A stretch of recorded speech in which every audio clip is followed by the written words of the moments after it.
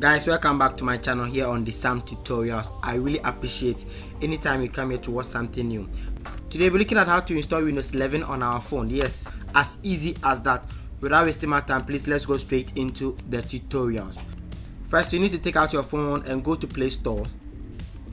So at the play store you go to the search button then you type in windows 11 stimulation or windows 11 you have variety of windows 11 over there then you click on the first one. I have already installed it so there's no need for you to install it again. So all you need to do is that you have to open that particular app on your phone. So I've already installed it so in this case I'll click on open. Then you click on play. So this is how the interface of the Windows 11 looks like. Once this information comes then you click on next. They'll ask you to install so you click on install now it will take some time to set up. So now it is setup is starting. So you click on upgrade this pc now. Create installation media for another pc they will they, you don't have to click on that because there's no flash drive or flash device on it. So you click on next. So so over here we are now installing windows 11 on our phone. So you have to wait for some few minutes then it's finished installing.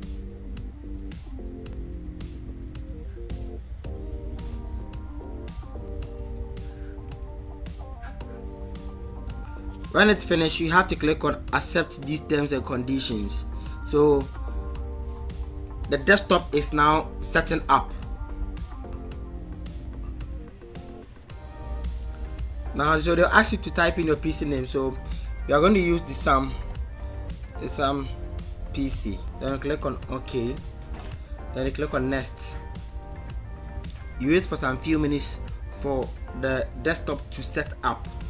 So this is how the setup looks like. So now that is your Windows 11 on your phone as easy as that. So you can come here and check your time and your brightness. You can also open the menu to look through what is there. So that is it.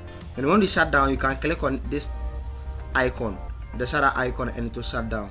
You can also open folder as easy as that.